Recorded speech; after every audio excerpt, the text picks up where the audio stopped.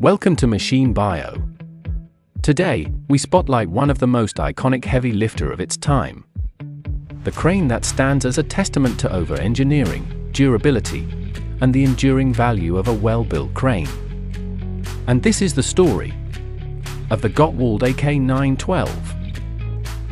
And without a further ado, let's get it on. Back when the Gottwald AK912 was on the drawing board, television still ran on vacuum tubes, and engineers didn't yet have the full grasp of modern material stress and strength calculations.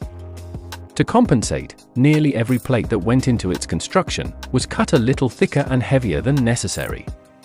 The result was a machine that was exceptionally robust, overbuilt in the best possible way. At the time, a 1,000-ton mobile crane was a groundbreaking achievement. Even in the early 1980s, it was believed the AK-912 could handle up to 1,200 tons, but no one dared officially certify it for that figure. Only three AK-912s were ever built.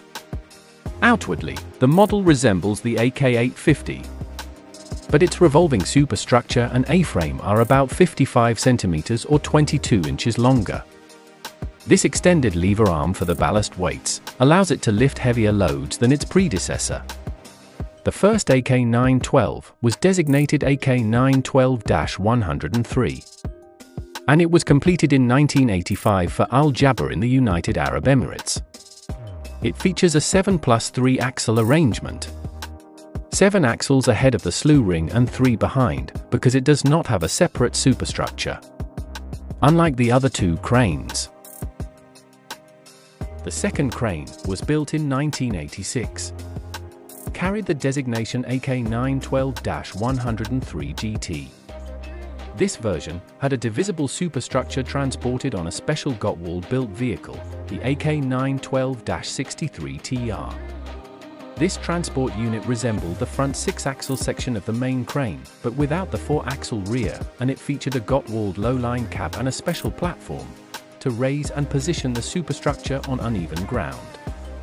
Originally delivered as an AK-850 to Toenz in Germany. It later worked for Franz Bracht, then Interlift UK. Interlift upgraded it to full AK-912 specifications, boosting capacity to 1,200 tons. From there, it passed to Baldwins, and eventually to ALE Heavy Lift. Now part of Mammoth. Even they were giants, they also faced trials. The AK-912 has had its share of challenges. In 2008, its transporter caught fire during a job near Engabes, Tunisia. The crane was on the way to a job site for a British Gas LPG project in Gabes, where it was going to work on an offloading and reception facility.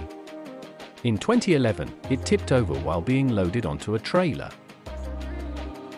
Despite such incidents, the crane was repeatedly repaired and refurbished, including a major rebuild in 2008. In 2023, Allis acquired the AK-912, carrying out another refurbishment before returning it to service. Now operating as a pedestal crane, it remains a valuable high-capacity lifting asset in Allis fleet, supporting heavy industry projects across the UK the third AK-912, built in 1987 for Walter Wright in Australia. It was unique in being right-hand drive.